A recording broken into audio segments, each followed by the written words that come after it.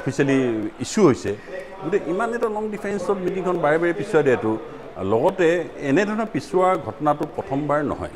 বিভিন্ন সভা বা বহু সভা আজি কেইবাবাৰো পিছুৱাই দিয়াটো এটা মানে এটা এটা ভুল মানে এটা প্ৰেক্টিছত মানে এটা পৰিণত হৈ আহিছে।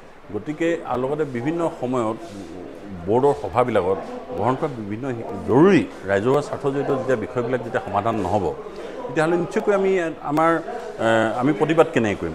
সভাবিলাকত কোৱা কথাটো এতিয়া এজেণ্ডা প্ৰস্তুত হয় ৱাৰ্ড কমিশ্যনাৰসকলৰ লগত আলোচনা নকৰাকৈ এজেণ্ডাবিলাক যেতিয়া ফিক্স কৰি দিব তাত ৱাৰ্ড কমিশ্যনাৰসকলৰ কোনো ধৰণৰ যেতিয়া যদি বিষয় থাকে যদি সেই বিষয়বিলাক অন্তৰ্ভুক্ত কৰিবলৈ যদি সুযোগ নাথাকে বা সভাপতিয়ে যদি ৱাৰ্ড কমিশ্যনাৰসকলক যদি নুসুধে তেতিয়াহ'লে সেই বৰ্ড মিটিঙত নিশ্চয়কৈ যাতে এই ঘটনাবিলাক যাতে পুনৰাবৃত্তি নহয় তাৰ কাৰণে আমি সেইদিনাখন সভাখনত আমি অনুপস্থিত থকাটো আমি আমাৰ প্ৰতিবাদ হিচাপে আমি ভাবিলোঁ সেইকাৰণে আমি অনুপস্থিত থাকিলোঁ।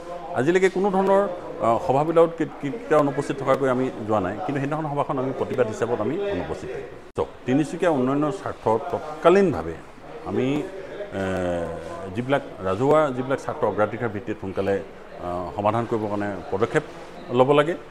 যিবিলাক গুৰুত্বপূৰ্ণ যিবিলাক ৰাইজৰ সুৰক্ষাৰ স্বাৰ্থত জড়িত থকা যিবিলাক বিষয় এই বিষয়বিলাক অগ্ৰাধিকাৰ ভিত্তিত পৌৰসভাই এটা উচিত এটা দিশত আগবাঢ়িবৰ কাৰণে আজি আমি অনুৰোধ জনাইছোঁ।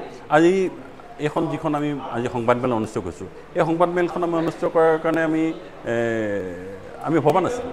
কিন্তু পৌৰপতিগৰাকীয়ে যেতিয়া সংবাদ মাধ্যমৰ আগত আমি কিছুমান ৱাৰ্ড কমিশ্যনাৰসকলৰ প্ৰতি তেখেতে জনসাধাৰণৰ সেৱা প্ৰতিপন্ন কৰাকৈ যেতিয়া বক্তব্যবিলাক আগবঢ়াব গতিকে তেনে পৰিস্থিতিয়ে নিশ্চয়কৈ আমি প্ৰত্যুত্তৰ আমি সংবাদ মাধ্যমৰ যোগেদি আমি নিশ্চয় দিব লাগিব। গতিকে আজি আমি সংবাদমেলৰ যোগেদি আমি তেখ- তেখেতৰ বক্তব্যবিলাক আমি কণ্ডেম কৰিছোঁ আমি গৰিহণা জনাইছোঁ। গতিকে আৰু আমিও সদায় আমি সমিলমিলেৰে আমি কাম কাজবিলাক আমি কৰিব বিচাৰিছোঁ। কাৰণ চেয়াৰমেন নিৰ্বাচিত হৈছে আমাৰ ৱাৰ্ড কমিশ্যনাৰসকলৰ সমৰ্থনতে ৱাৰ্ড কমিশ্যন এই সভাপতি নিৰ্বাচিত হৈছে। গতিকে তেনে সভাপতিগৰাকীয়ে যদি একনায়কত্ববাদ চলায় তেখেতে যদি ৱাৰ্ড কমিশ্যনাৰখনৰ অন্ধকাৰ ৰাখি যদি যদি কাম কৰিবলৈ যায় নিশ্চয়কৈ ইয়াৰ বিৰোধ হ'ব বা আপত্তি হ'ব।